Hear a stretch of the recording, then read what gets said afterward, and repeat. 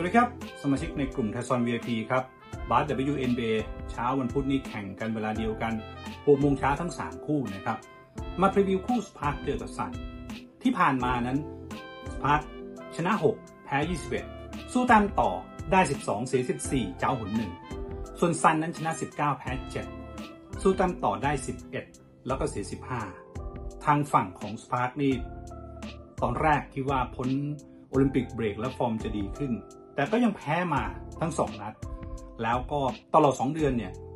ชนะเพียงแค่ 2 เกมแค่นั้นเอง ล่าสุดไปโดนลาสเวกัสเอสเซยำนะครับ 71 ต่อ 87 แต่ราคาปิดเนี่ย พวกเธอเป็นรองอยู่ 16.5 ก็เลยยังกินแต้มได้ ก่อนหน้านี้ก็แพ้แล้วก็เจ๊งแต้มมา 2 เกมรวด อาการบาดเจ็บของ backcourt หรือว่าคู่กาดก็ยังคงมีอยู่ล่าสุดที่เช็คก็ยังลงไม่ไหวนะครับ แต่ในทีมนั้นมีอย่างเดียริก้าแฮมบี้ซึ่งก่อนเบรกโอลิมปิกนั้นเฉลี่ยอยู่ที่ประมาณ 18.3 แต้ม 10.1 rebound แต่พอพ้นเบรกโอลิมปิก สกอร์รวมเพียงแค่ 20แค่นั้นเอง ทีมนี้เป็นทีมที่เล่น pace กลางๆนะครับ แล้วก็ได้สกอร์ 78.5 อยู่อันดับรองบ๊วยของลีก แล้วเวลาเสียแต้มเนี่ย ก็จะเสีย 86.3 อันดับที่ 10 จาก 12 ทีมนะครับ ขณะที่ซันเนี่ยเป็นทีมที่ออกตัวร้อนแรงมาก แต่ในช่วงหลังๆน้ำขึ้นน้ำลงเอาแน่ไม่ได้ แพ้ทีม top top อย่าง Liberty อย่าง Storm อย่าง Aces แล้วก็ล่าสุดเนี่ยตกต่ำขนาดไปแพ้อ t แลนตาดรีมนะครับ ต่ออยู่8แต้มก็กล้าแพ้ 70 ต่อ 82 นะครับ8เกมหลังสู้ตามต่อก็ได้ได้เสียอย่างละ 4 เกม ในทีมเนี่ยมีอย่างเดวอนน่าบอนเนอร์นะครับที่จะเป็นตัว top score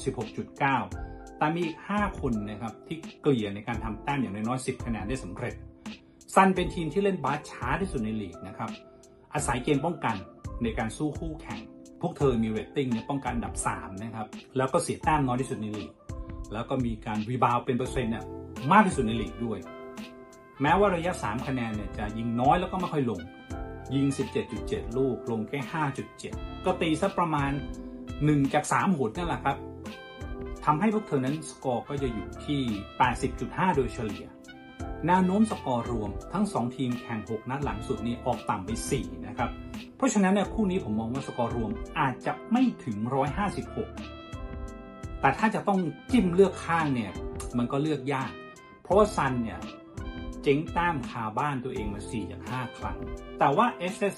อาทางฝั่งของ Spark นะครับ Spark เวลาเจอซันเนี่ยก็เจ๊งมา 8 จาก 9 หนนะ แต่ถ้าต้องจิ้มจริงแล้วก็คง Spark นี่แหละ เพราะอะไร เพราะว่าเวลาที่ซันแข่งแล้วเป็นต่ออยู่น้อยๆ8แต้มซันเนี่ยเจ๊งมาหมดทั้ง 5 เกมล่าสุดเลยนะครับ คู่ต่อมาสตรอมเจอกับมิสติก2ทีมนี้สถิติในการสู้ตามต่อเท่ากันได้ 15เสีย12สตรอมนั้นผลงานจริงเนี่ยชนะตั้ง 17 ส่วนมิสติกนั้นชนะแค่ 6 นัดเอง ส่วนหนึ่งก็เป็นเพราะว่าราคามิสติกเวลาแข่งเนี่ยมันราคาเยอะ พวกเธอกินแต้มมา 12 ใน 17 นัด แต่คะแนนสตรอมเนี่ยฟอร์มช่วงหลังๆ ไม่ค่อยดี แล้วก็เจ๊งแต้มไป5จาก6เกมด้วยสตรอมนี่เคยปราบมิสติกมานะครับเมื่อเดือนพฤษภา9แต้มกับ 32 แต้ม แต่ว่าพวกเธอในปีนี้เล่นนอกบ้านไม่ค่อยดีนะ แพ้ไป 7 จาก 13 ครั้ง โดยเฉพาะ 7นัดหลังสุดนี่แพ้ไป 5 เลย ขณะที่มิสติกเองเวลาเป็นทีมที่อยู่ในบ้านตัวเอง แล้วบอลให้เป็นรองนะครับ กินได้ 6 จาก 8 หน เพราะฉะนั้นนะผมมองคู่นี้ มิสติกอาจจะสู้ได้ สูสีถ้าจะแพ้ก็แพ้ไม่ขาด ปิดท้ายดัลลัสวิงเยือนลิเบอร์ตี้วิงนั้นปีนี้ถือว่าน่าผิดหวังละ เจ๊งแต้มมา8จาก9ครั้ง ขณะที่ลิเบอร์ตี้กำลังร้อนแรง กินแต้มมา5เกมรวด แต่ปัญหาเนี่ยผมมองว่าคู่นี้ลิเบอร์ตี้เป็นทีมที่ต่อเกิน 10 แต้มแล้วไม่ค่อยดี เจ๊งมา 12 จาก 14 เกมเลยนะครับ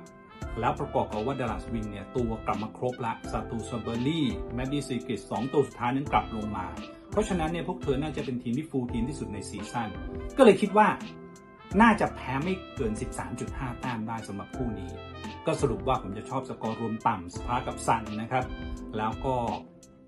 ชอบทางอย่างมิสติกแล้วก็ชอบทางวิงส์ด้วย นั่นเป็นความคิดเห็นของบาสหรือ WNBA มาฝากให้กับสมาชิกในกลุ่มไทซอน VIP ครับ